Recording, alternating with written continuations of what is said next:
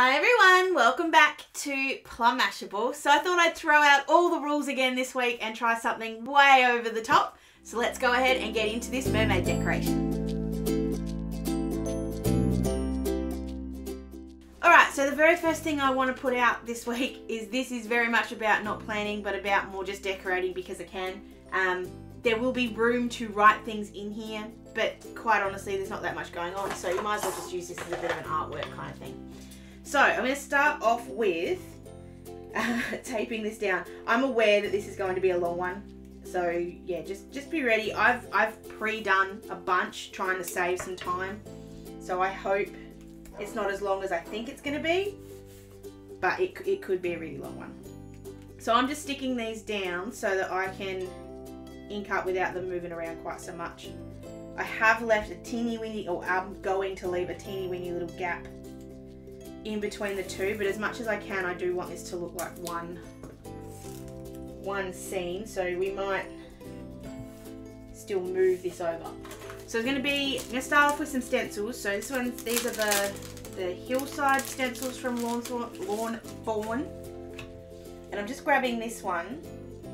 So we're going to kind of make a sandy bank on the bottom. So we're going to start off, actually we might move this one out of the way so I don't accidentally get ink on this page. Um, so I'm going to start off with this one and just kind of make the sandy bank look like this. So the easiest way I find to do this is actually to stick this down as well. Now I did deliberately leave that, there we go. So it wasn't going to take as long to do. We go. Um,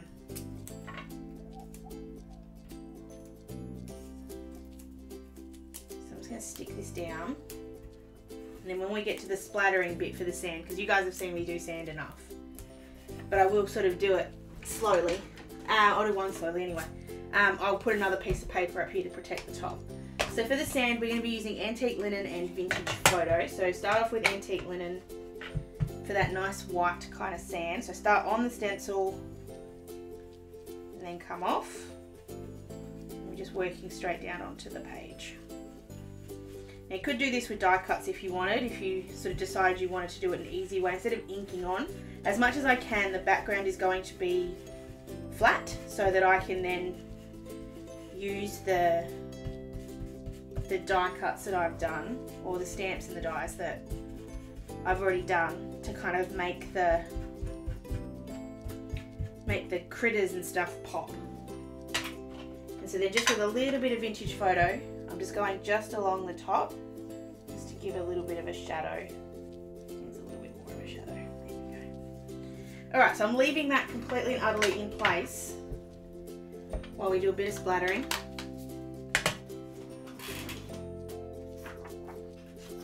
So just grabbing out a bit of scrap paper just to protect the rest of the page.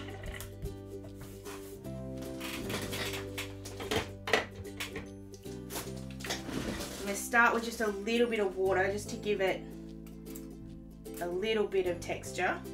Just wipe that off. And then just with a little paintbrush, just a bit of flicking. Now you can use white as well. I'm kind of debating it at the moment. Yeah, might Usually I use my acrylic paint, but it's just a bit, well, it's not a bit anything, it's just, you might as well use some other stuff, so Let's give this a go. A little bit on the on the mat. So just with a different brush, just grab this one. Actually, that's had glitter on it in the last couple of days, so let's not use that one. Just a little bit more water. I don't think it's going to be opaque enough actually. So I'm just going to try without any water because maybe I just put a little bit too much water on it. That's better. It's not as good as my acrylic, but it's okay. Sometimes it'll look like you're not actually hitting the page. That's okay. You will hit it. And if you're having real issues with it, grab yourself an acrylic block, flick this way.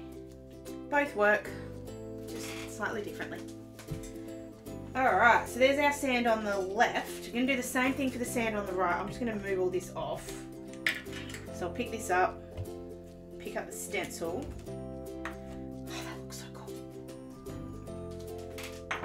wipe off a little bit of the mess. I'm not going to move it completely off because I just want to be able to line the stencil up first. So it's going to clean this off then we can just line it up.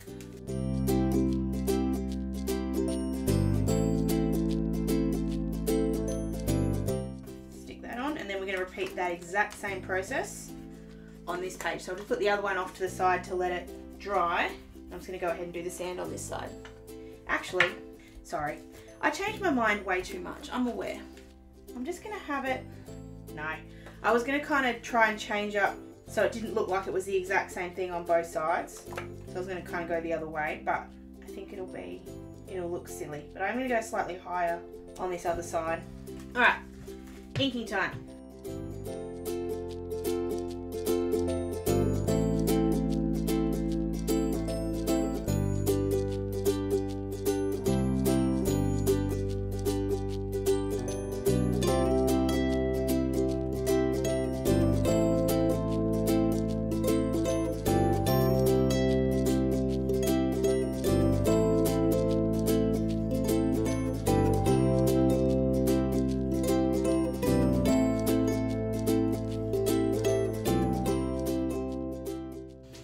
So now I've just realised I've made a bit of a boo-boo because I forgot to spritz it with water first.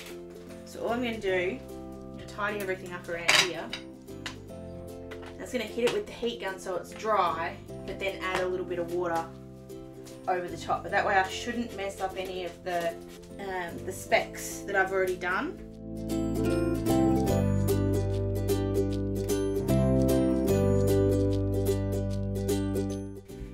Look like much on camera, but in person that, that actually made a difference. So, all right. So now we're gonna do the opposite of what we just did. I'm gonna put a bunch of water on top of the sand. So we're gonna use the mask in reverse to do this. So instead of having it this side, we're gonna use it, sorry, use the stencil as a mask in reverse. So we can clean this all up. So I'm gonna stick this further up the top because I'm going to use the mask, use the stencil as a mask to make sure I don't get too much coverage. Now this is me, I like to leave it just a little sliver of the of the area showing and that's so that you don't get um, you don't get like a line between the two. Sorry, I had trouble working out what I want to say there. So I've got the stencil stuck in place. I'm going to stick the paper down in place. Now this is a little harder because obviously I want to be able to ink the whole thing. So I'm going to work out where I want my sea to go to, which is basically to the top. So the top is where I'm going to stick that bit of washi. And then for the actual ocean waves, because I don't want it to be flat, because that's not realistic, I'm grabbing another one of the stencils. This is the wavy stencil and that's sort of going to be it's still out of those hillside ones but that's sort of going to be my my wave line it's a bit bigger than I would like if I'm being deadly honest. I would prefer it to be slightly shallower or slightly calmer waves. But it'll it'll still work. So do the same thing and stick this down to hold it still. And then we should be able to ink up all around it. So for the ocean, I'm going to do three colours. I'm going to do Faded Jeans, Salty Ocean, and Mermaid Lagoon right at the top. Grab my brushes. So start off with Faded Jeans at the bottom because obviously that would be the darkest because it's the deepest and then you get lighter as you go up. So because I've got four colours and sort of three bits here, I'm kind of going to go here, here, here, and here-ish, kind of. And I'm basically not paying any attention to this as a plan a week because, yeah, we can't. So I'll just start at the bottom because it's just going to be a pain. So I'm just going to stick, I'm not going up too much further than this anyway, so that'll be fine. I'll just move them as I go. So it'll look a little messy at the beginning, but I promise it'll all come together. I don't actually like faded jeans too much. I think that's actually too dark. So what I'm going to do is just put that little bit at the bottom but then it's going to come straight up into Salty Ocean from here. And we might even put a lighter colour on top of Mermaid Lagoon, I haven't decided yet. Salty Ocean will give me the blue colour that I want. Okay. So I just work at blending the two colours together first, and then you can move on up. So I've got those together and then kind of come in with both brushes to smooth it off. It definitely doesn't look right at the moment. Alright, that's just bugging the crap out of me. So I'm just going to grab a little bit more washi and stick the sand down underneath. So I don't want to move my stencil if I can avoid it, which I can't apparently. So we're nearly done with the stencil at the bottom anyway, so it's okay. There we go. There's a little bit of work involved in the blending. So worth it when it gets on there though.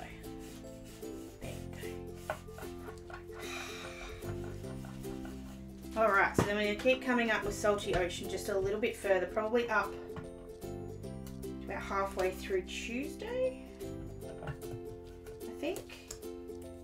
If you have any of these patchy bits, you just go back over with a little bit more ink just to work it out. And remember this is water, so water's not ever going to be perfectly smooth.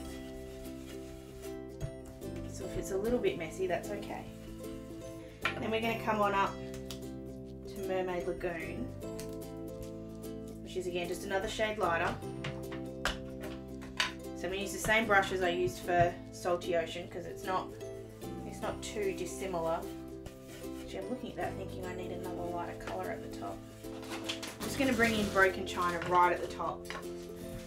Just because I feel like it's a little bit, this is going to be a little bit too dark. Oops, that's the wrong colour. The problem with having them all out. Now we'll move up into that Broken China. And the good thing is those last three were so easy to blend together So you can definitely see the, the different shades as it goes lighter at the top, which is what we want. So I'm not putting any of those inks away because we're still going to need them, but this is when we're going to get out a lot of water. So I want to do, there's going to be a lot of different spritzes on here. So you're going to start off with just a plain spritz, sort of from up, up high-ish, because you want sort of a mist. Make sure you get the whole page give it a second because I want that to react. I want a little bit more time. So that's going to give you sort of the, the, the base of the bubbles. Uh oh stuck to the thing. So it gives you that first base of it. Now if something's not quite right, you just go back over it with the brush. Something's not quite right there, but I don't know what it is. So now that we've got that first lot, I'm going to go back in So I'm going to put this one on my hands. So there's a bit of pile of water and then just kind of flick. So this will give you slightly bigger drops. And again, let that react for a minute, a little bit more. The more drops you can put, the more it'll look like ocean. It'll look like water. Aha! It looks like ocean! That to me looks like the ocean. When I'm under the ocean, there's always plenty of bubbles, so that's what I wanted. All right, now that that's done, you can take off all the masks, or stencils, whatever you want to call them now, um, and put this one off to the side. You can start on the other side.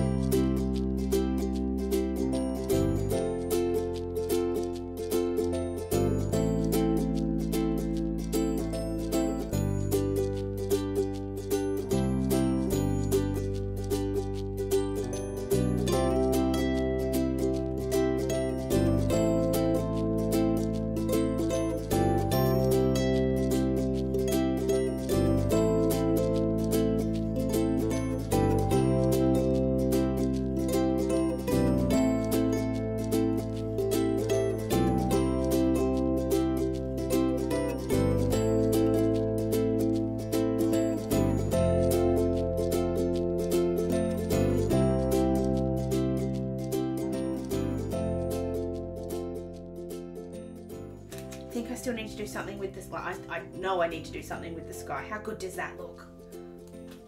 Um, I'm going to go crazy because I am crazy and we're aware of this. Um, and put clouds back here. You don't have to. You could just really easily do just a pale blue sky and that would be fine. Because I'm a crazy human being, I'm going to go that little step further. So I'm just going to take these together grab my cloudy, so hold on, we'll grab the, the wave first because we're going to use that to mask off the wave. And this one's not so important that you leave a leave a gap because we're deliberately trying to do the it, will have white there anyway so you can leave a little bit more. I'm use my favourite for skies which is tumbled glass but you could use anything else. Um, now this is a little bit more difficult because this stencil doesn't go the whole way along the page so I'm only going to do one line of it anyway but I'm just going to use one and come across and just move it as I go. So I'm not going to stick this one down because this one needs to be a little bit more transient, if that's the right word. So we'll just start in the corner, come down. So it's actually got two stencils over it right now. I am being a little bit more heavy handed than I normally would.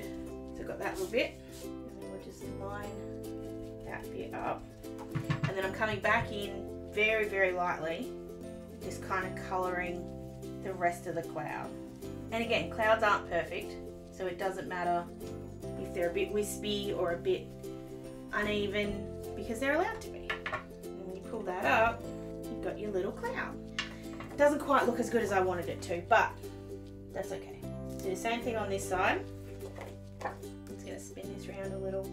Almost no need to do, almost no need to do that little corner. So it's kind of going to help me get away with this. I'm just to make the small, one smaller ones.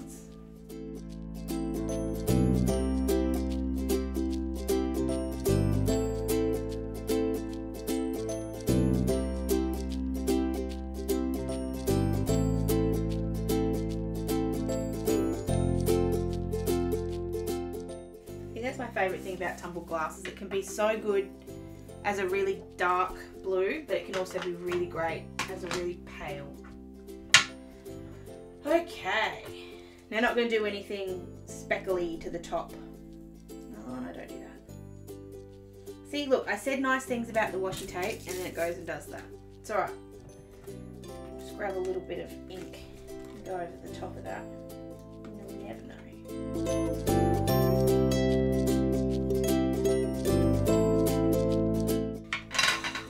To bring in all of my images. Now I have spent the last day or so cutting out and colouring in a bunch of images for this so that it was a little bit easier because I didn't want it to be a 50,000 year long video to do this. So I've got a bunch. I'm going to tell you which ones they came from as I kind of work out where on the page I want to put them. Anywhere I can cover up a day, I will, but they are so hard to see right now, I don't think it really matters. Uh, so this one here is from Done Up, and then we've got Mermaid for You all over the place. By the way, this rock from Mermaid for You is the best rock ever, and I may be getting the kit, the stamp set for no other reason than I want the rock. Um, the submarine is from You Are Sublime. I'm sorry, it makes me so happy just seeing those. Um, the seaweeds are from Mermaid for You as well, and I have a bunch of those and a bunch extra in case I need them. The narwhal, which is my favourite as in coloured wise, that's from uh, yeah, Mermaid for You as well. We've got another rock. There'll be lots of rocks. And then we've got some corals and bits and pieces, and these are going to come from a combination of, I think You Are Sublime, Fantastic Friends, and Just Keep Swimming and Mermaid You. I think that's all of them. So I'm just going to kind of put most of these where I think they need to go. Sometimes I find just a little bit of paper from the die cut still stuck on them, so I just like to There's a combination with the seaweeds of the Stamp Stamped and the the coloured and I'll show you a way to add a bit of shadow so that they don't look washed out in a sec. I did I did make sure there was a lot of coral because I needed there to be a lot of coral. Oh, and this is one of my favourite bits. So I did a, a set of rainbow fish, whether or not one goes on one side of the page and one goes on the other. So they actually go from red to orange to yellow to purple. It's so good. Now they've got a seahorse there. And then here we go, we've got other kinds of seaweed. And I can always add more, I've got plenty of seaweed around the place. So just to add a little bit of shadow to some of these seaweeds, I'm just grabbing one of my Copics. This is G28. And I'm just putting a very, very, very, very, very thin line just along the side of the seaweed. And it'll blend into the, the oxide just a little bit. But it just means that it's not as flat because the other ones are very dynamic because I've put two like coloured with two shades. So I'm trying to do the same thing here. So I'm just going to go on the couple of seaweeds that I've got and do that. And again, it doesn't have to be 100% perfect because things under the sea aren't perfect. And then we'll do the same thing for the corals in a second because they need the same kind of dimension added.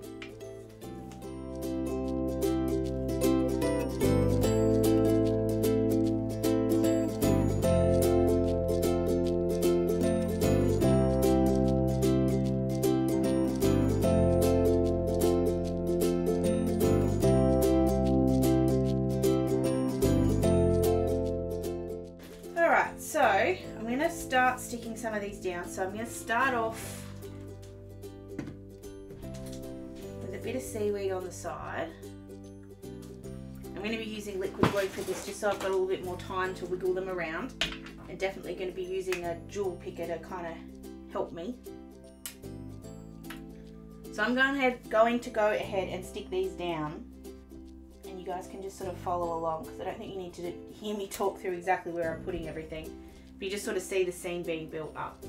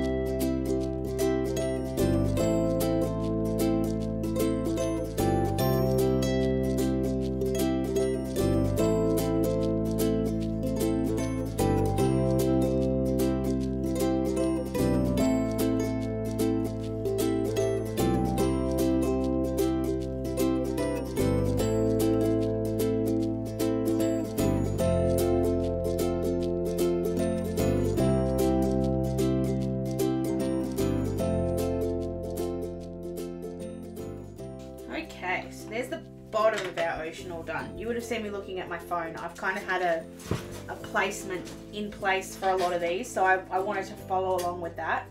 Um, I will say I like this side better than this side because I've gone with the hill and I've left some room. I should have done that on this side, but anyway. Anyway, alright, so let's start getting some of our mermaids and other bits and pieces in. I love that narwhal so much. He's so cute. So I'm doing exactly the same thing. Obviously now we're just working with slightly bigger images. Um, I have got glue all over my hands. I, it's a, it's a, kind of can't help it. Um, but my, my little hint with all of this is don't put too much glue on. You don't need a lot. You feel like you're not putting enough on when you do it. Trust me, you are. So like just a couple of little dots is enough. You don't need to go over the top with this. Um, because too much glue squishes out the sides and that's harder to, and it's then it gets sticky and it's just pain. Um, this little mermaid is going to sit on this rock. She's going to be the only one that sits at the bottom. She looks like she's sitting anyway, so that's perfect. Uh, she does also fit on the narwhal, so if you wanted to have her, I'll show you without. She sits on the narwhal pretty easily as well, but I want to have her sitting on this rock. Kind of, she's my my one sitting mermaid at the bottom. And then we're gonna put Mr. Shark. Oh, I love Mr. Shark. He's a friendly shark. Uh, now all of these were coloured with Copics. They're all on Express It blending card. It's the best combination I've found so far, so I tend to stick with it. And then we will find ways to put stuff in because I don't, I still want this to be a planner week. I don't want this to be not, but I, I kind of like the idea of it almost ignoring the fact that it is. So the rest of these big ones, I am going to go around and put them down first. I want that crab on that rock too. Uh, so I'm going to go start putting these down and if I need more, I can always grab some more. So I've got the two thingies of fish.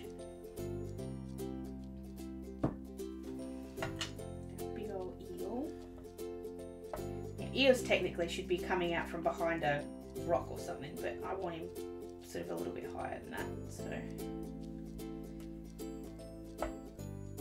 eels do swim.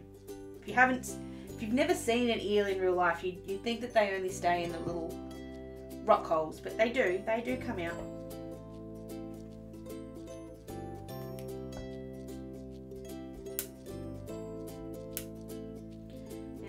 Things differently here, so I need to come away from my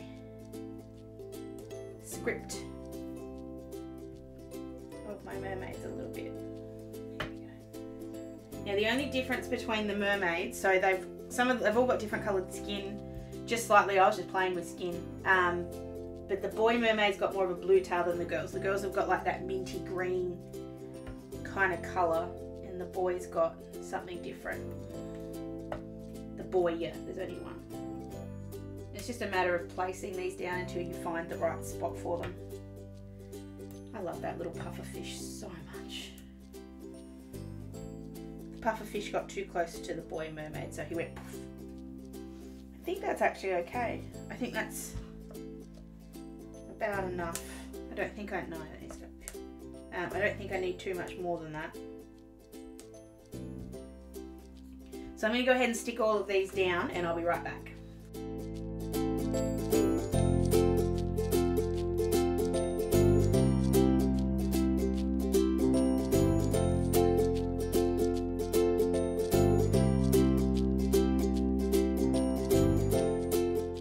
I love those rainbow ones sort of in the middle. I'm actually half tempted to get, like do another set and have them have a few more, but I won't. I won't. Yeah, I'm basically singing a Little Mermaid in my head. And I had to do one of them as a as an Ariel. I couldn't not, but and then this one kind of looks like Flounder, but and I'm actually I'm, I'm, I'm actually very inspired to go back and make another card very similar to this where it kind of looks like Ariel and Flounder. But I don't know who I'd give it to because I don't think anyone, like my nephews certainly aren't Little, well, they're not Little Mermaid fans like I'm a Little Mermaid fan. Oh, that is stuck. Um, so I don't know if that's, if they get the reference. So I'm sort of not sure. My sister does watch and so do the kids. So if you guys want, if you want a Little Mermaid card, please tell me because I'll, I'll happily make it and I'm so getting this set. This is, I borrowed this one from my friend Simone, but I'm so getting it. All right. Where's my lid? There it is. So I think they're all stuck. Certainly feel stuck. And I have managed to keep the back side of that one clean, so that's even better. All right, so now let's actually make it a bit a, a bit more plannery because we can't not have it be plannery at all. So I'm going to grab my Oscar and Lou stickers. These are my favourite day, days of the week ones. They've got a little bit of a white border around them, so it'll kind of fit in with with the, the dies a little bit. And I'm just going to stick these down. I'm completely ignoring the fact that I've probably got the days in here somewhere already. So the fish here is covering up Monday, but it's not fully covered, but that's all right. Honestly, you can't see it, so it doesn't really bother me that much. And then when they've been completely covered up, I I can move them to wherever the heck I like. So I'm just gonna play with these and put them down.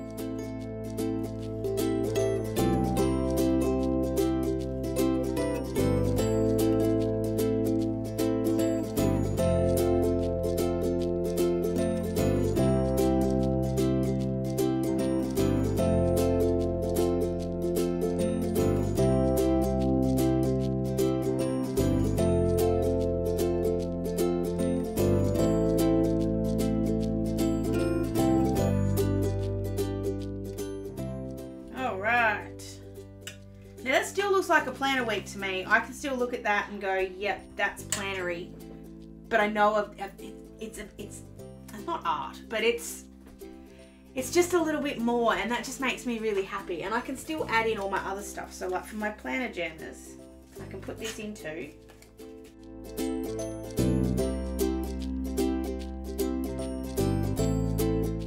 Now I know I forgot to put these in last week. I kind of was a bit blech.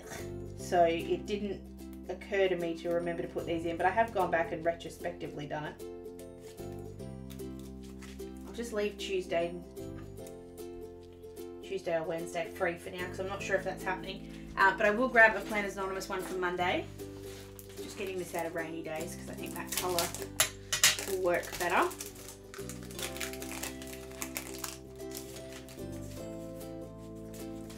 So use this greeny kind of one. So put that up there as well, just to remind me for that one. And then I'm to leave it just like that. I'm not to put anything else on there for now, but I can so still use that. There's plenty of room still to write. I can write behind them. Oh my god, I love this so much. I think I, I, I think my, the submarine's my favourite. I think, maybe. Uh, very closely, oh no, the narwhal, then the submarine. But this is how I get my planner juices back. If, if something wasn't working, like it definitely wasn't working last week, if something isn't working, throw the rules out. Throw the whole thing out and go, you know what, I can make whatever the heck I want and I'm going to turn it into this. I love the fact it doesn't damage the other side. You can't see the blue, so why not make it into whatever the heck you like. So I need to send a big thank you to Simone for letting me borrow her mermaids yeah, I'm getting the mermaids. I It's one that I've sat on for a while and been like, I don't really need the mermaids. I definitely need the mermaids. Uh, but thank you, Simone, for letting me borrow it and for sending me down that hole. I hope you guys did enjoy this slightly longer one. If you want to see me do the colouring, I feel like the colouring is something that I'm not, I'm getting better at, but it takes me a really long time and isn't something you guys need to see on camera. But if you want to see me do the colours, please let me know and um, I'll make sure to start trying to do that a little bit more often. Don't forget to give this one a big old thumbs up if you did enjoy it and make sure you subscribe to my channel and let me know if there's any other kind of whole big scene themes you'd like to see uh, with weekly decorations. I hope you guys have an absolutely fantastic week and I will see you again in my next video. Sending lots of huggles. Bye!